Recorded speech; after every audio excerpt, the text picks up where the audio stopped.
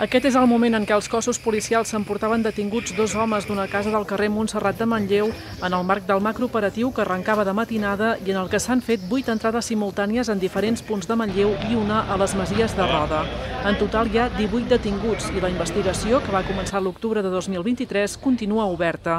El grup desarticulat hauria comès més d'un miler d'estafes bancàries a tot l'Estat.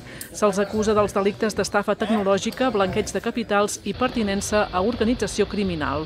De la casa del carrer Montserrat, els agents se n'han endut, entre d'altres, bosses amb material divers i dos vehicles. El registre en aquest punt, on també s'ha detingut una noia menor d'edat, ha estat especialment visible.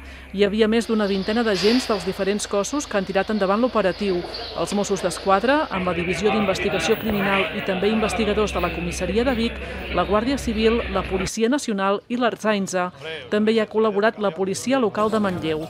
Aquesta circumstància la destacava l'alcalde Arnau Rovira, que ha acudit al carrer Montserrat acompanyat de la regidora de Governació, Lluïsa Bautista.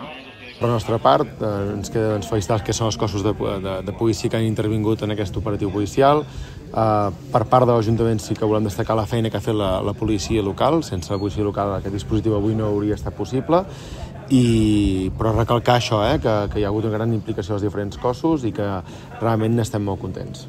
El dispositiu ha aixecat molta expectació mediàtica i també dels veïns. Persones que viuen a la zona han explicat que fa temps que denuncien problemes de convivència que s'hi produeixen i que relacionen amb els habitatges que hi ha ocupats de manera irregular.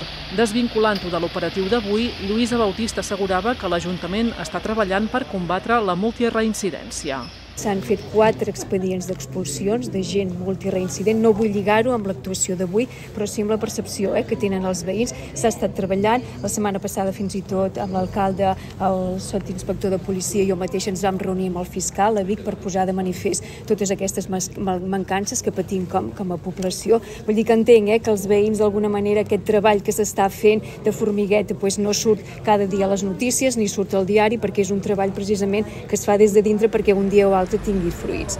A Manlleu també hi ha hagut registres, entre d'altres, al passeig de Sant Joan i a la carretera d'Olot.